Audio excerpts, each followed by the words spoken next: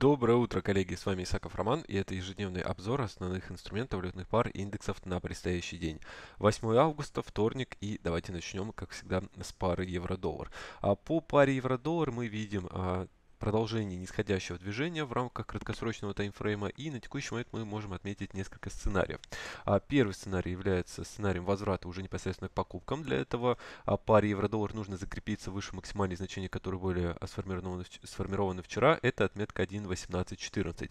В свою очередь, если пара сможет обновить локальный минимум и закрепиться за отметкой 1.1770, то тогда уже вероятно продолжение нисходящего движения с ближайшими целями в область 1.16.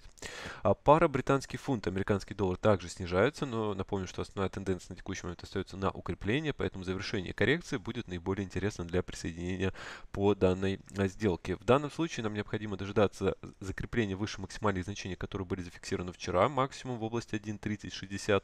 А, если пара сможет закрепиться выше этих уровней, тогда уже вероятно движение в области 1.32.53 те цели, которые мы можем обозначить по максимальным значениям 3 августа. Альтернативный сценарий будет в том случае, если пара сможет закрепиться ниже минимальных значений, которые были вчера, и тогда вероятность снижения уже в область 1.2945. На текущий момент наиболее интересным, как я уже сказал, остаются покупки по данной паре. А пара австралийский доллар, американский доллар также в краткосрочной перспективе снижается. Приоритет также пока остается у покупок, но э, сигнал для начала покупок также должен э, быть. И одним из этих сигналов может может быть а, обновление максимальных значений, которые были вчера, это отметка 0.7048, закрепление за этим уровнем, и тогда уже движение в область а, 80.58 будет актуально. В свою очередь, если пара уходит ниже минимальных значений, которые были зафиксированы вчера, то тогда уже вероятно продолжение коррекционного нисходящего движения а, по данному активу. А пара американский доллар, японская иена также на текущий момент находится в нисходящем тренде, а, который является основным. Поэтому а, поиск ситуации в рамках часового таймфрейма на продажу здесь также остается в приоритете. В свою очередь, уже сегодня с утра мы видим, что пара закрепилась ниже минимальных значений, которые были зафиксированы вчера. Это отметка 110.64, поэтому на текущий момент приоритет остается сценарию движения в область 109.90, в область минимальных значений, которые были зафиксированы на прошлой неделе. Отмена данного сценария произойдет в том случае, если пара закрепится выше отметки 111.04, это максимальное значение, которое было 4, 4 августа, и тогда уже, вероятно, продолжение коррекционного восходящего движения по данному активу.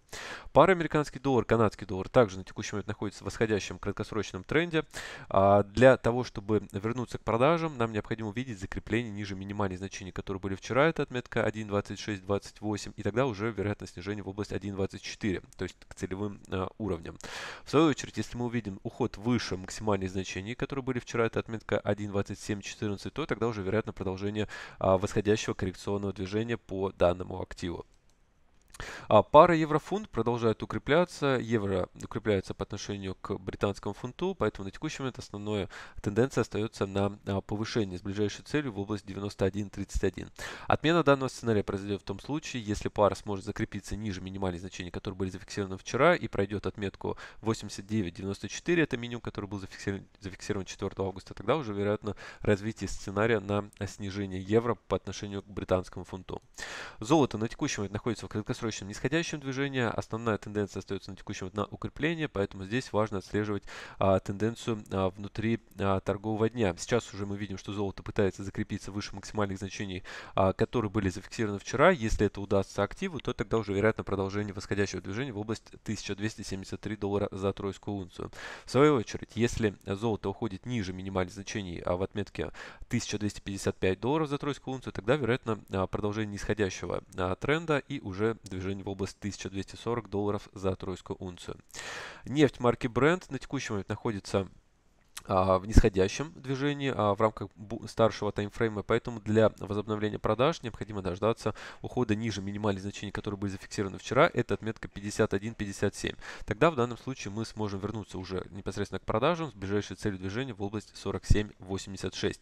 Отмена данного сценария и продолжение укрепления нефти произойдет в том случае, если нефть сможет закрепиться выше максимальных значений, которые были зафиксированы по цене 52.73.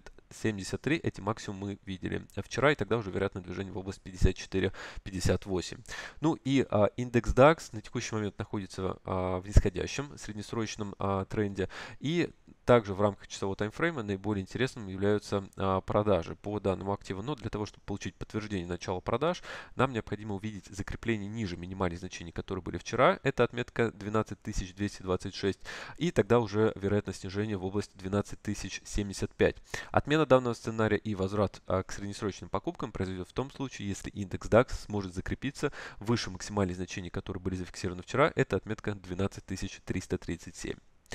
Итак, коллеги, всем спасибо за внимание. С вами был Исаков Роман. Как всегда, ваши вопросы оставляйте под а, комментарием а, к этому видео. Если вам оно понравилось, то ставьте лайк и увидимся уже на следующих видеообзорах. Всем спасибо, хорошего дня и до свидания.